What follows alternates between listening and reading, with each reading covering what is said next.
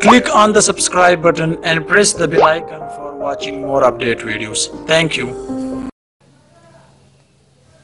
Assalamu alaikum friends, I am Sami and welcome to you with the new lecture in Civil Engineering YouTube channel. Dear friends, today my topic is about how to study column in civil engineering drawing. Let's start. Remember, if you have any question about this video, you must comment your question. I will reply your answer. So, you must like this video, share this video with your friends and subscribe this channel for more update civil engineering videos. When you click on the subscribe button, so there is the bell icon. Press the bell icon so you will get notification first about civil engineering any videos. Okay, let's start. So dear friends, this is the column which dimensions are 12 inch and 12 inch. But I will tell you here that what is this space called. Okay, so this space called in column concrete cover. Concrete cover which is from 25 mm to 40 mm okay? So 40 mm is too much better in RCC column. Okay? So this is called concrete cover. Okay? This space is called also from this side from this side from any side of the column. So this is square column. So this is called concrete cover. Take from 25 mm to 40 mm but just in column. But I says that 40 mm is too much better for the column. Okay? So now here we have the 1 2 3 4 5 6 7 8 numbers of bar in this column. Okay? 8 number of steel you can say or 8 numbers of bar. So here we have this mark. So it means that this is okay this this is called this one okay. So this is called stirrup for this column stirrup okay. So dia for the stirrup we take here 3 okay. So 3 sutra do you know sutra so in 1 inch we have 3 sutra okay. So 3 by 8 okay. So 1 inch. Is equal 8 sutra. Okay? 8 sutra. Right?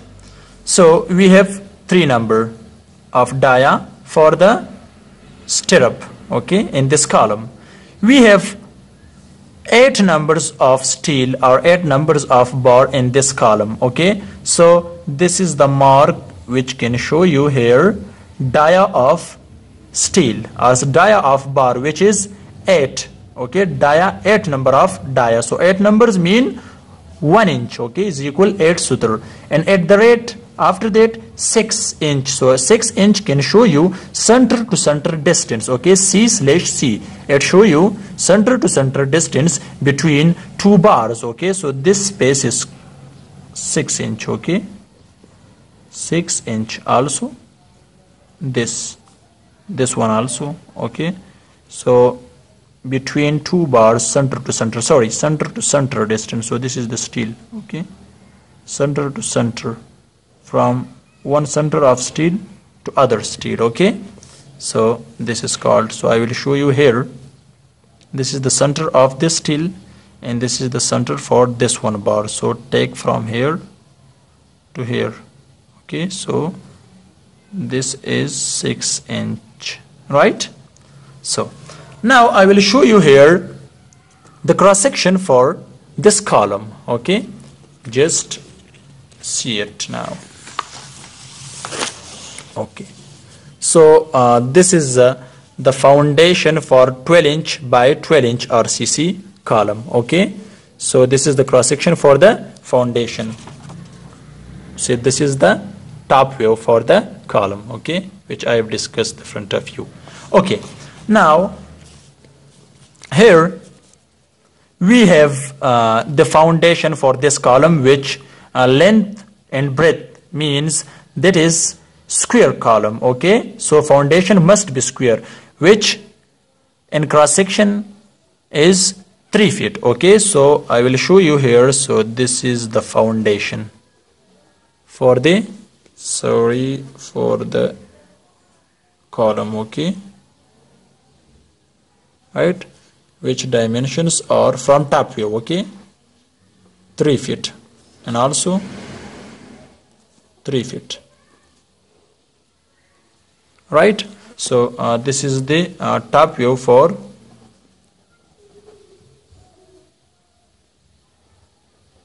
view for foundation right? Okay so this is the cross section for the column okay? Is the okay. Now